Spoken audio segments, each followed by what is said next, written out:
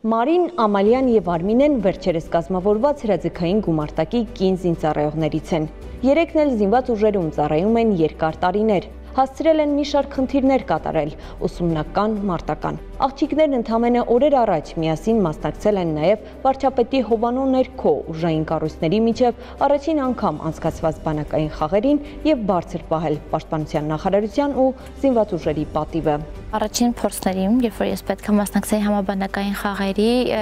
ճիշտ ասած կարկամում էի կլինի թե չէ, կարող եմ թե ոչ։ Ինձ շատ ոգեշնչում էր իմ ավակ հրամանատարը եւ ես որոշեցի,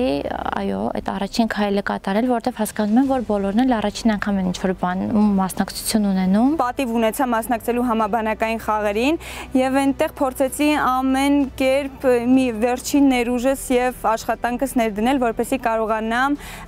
թիմին օգնել։ Պաշտպանության նախարարության անունն է, որ բոլորս պիտի բարձր պահենք։ Պաշտպանության նախարարությունը պետք է միշտ ապացուցի, որ ինքը լավագույնն է եւ աղջիկներն ապացուցեցին զինված ուժերի թիմը լավագույններ։ Արմինեն, որը մյուս աղջիկների համեմատ առավել փորձառու է եւ խաղաղության մարտիկ մրցաշարի բազմակի հաղթող, անգերազանցելի էր նաեւ բանակային խաղերում, որտեղ գրավեց առաջին տեղը քարամարտ մրցաձևում։ Իմ մրցաձևը քառամարտն էր, որը բաղկացած է 4 մրցաձևերից։ Առաջինը վազք 1 կիլոմետր, վազք 100 մետր, Իրանից ալում եւ տարածում եւ նռնակի նետում նշանակետին։ Մինչեւ մրցույթի սկսելը կար մտավախություն, որ հնարավոր են լինեն այլ կառույցներից աղջիկներ, ովքեր որ կարող են լինել ատլետներ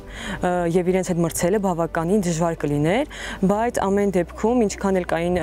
սպորտաձևերից լավ աղջիկներ, այնուամենայնիվ իմ արդյունքը գերազանցեց բոլորին։ Բանակային խաղերի մյուս մրցաձևը կողմնորոշումն էր, որն իրականացվել է թե անհատական, թե թիմային ձևաչափով։ Որոշակի տեղանքի համար տրված քարտեզի օգնությամբ լեյտենանտ Մայլյանը հաջողությամբ է հաղթահարել լեռնային հատվածներում կահավորված արգելագոտիները եւ անհատական հաշվարկով դարձյալ գերազանց արդյունքներ է ցուցադրել։ Հասկանում էի, որ իմ ուսերին ամբողջ թմի ու ամբողջ մեր կառույցի պատասխանատվությունն է դրված, պետքա ես ճիշտ ներկայացնեմ ու լավ ու ճանապարհին, երբ որ արդեն կողմնորոշիչներից գտել էի,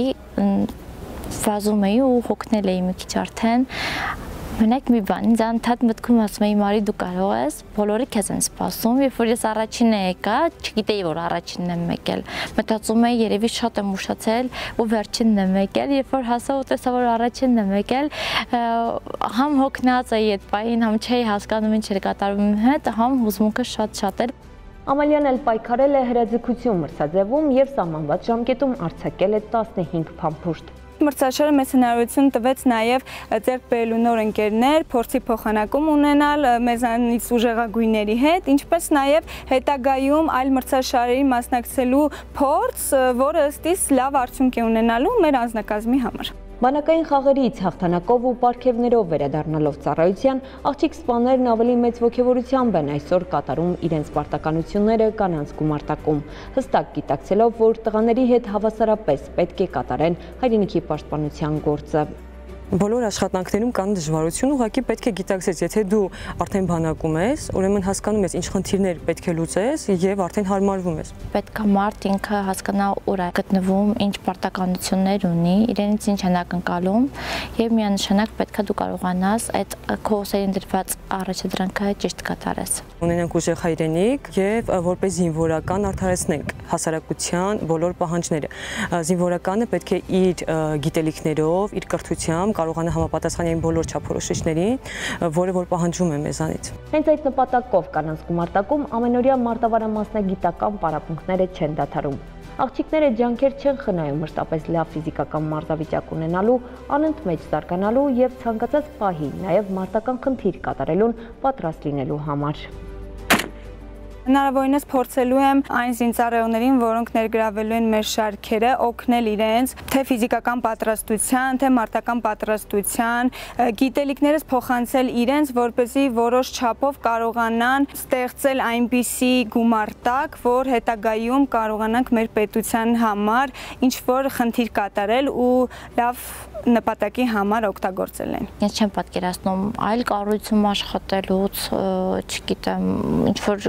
քաղաքացիական գործ կատարելուց ես միշտ մտածում եմ, որ պետքա ես մնամ բանակում, առաջ խաղացում ես տեղ ունենամ, սիրում եմ իմ ծառայությունը ու ուզում եմ որ անպայման հասնեմ բարձունքների ու օգտակար լինեմ իմ ազգին, իմ պետությանը։ Հագեցած զինվորական առօրյայում նրանք չեն մոռանում նաև գեղեցիկ ու խնամված լինելու մասին։ Վստահ են, համազգեստը միայն ընդգծում է կնոջ գեղեցկությունը։ Եթե կինը զենք է վերցնում, այդ ամենի հետ մեկտեղ պետք է նաև չմոռանա, որ յուրաքանչյուրը ընտանիքի մայր է, կին է, աղջիկ է եւ ի վերջո կինը ինչքան էլ լինի բանակում, նա պետք է կանացի մնա։ Մարին, Ամալյան եւ Արմինեն պատվով են գրում հայկական բանակի սպայի ուսատիրները։ Երեքն էլ խոստանում են, ծառայելու են Հայաստանի Հանրապետությանը իրենց բոլոր ուժերով եւ որքան անհրաժեշտ լինի։ Կանանց գումարտակում ծառայողական պարտականությունները կատարելու են սպային վայել արժանապատվությամբ եւ պատրաստ են իրենց շարքերն ընդունել գաղափարակիցների հայրենիքի նոր պաշտպանների։ Լաուրա Մամյան, Ռուբեն Նացականյան, Զինուշ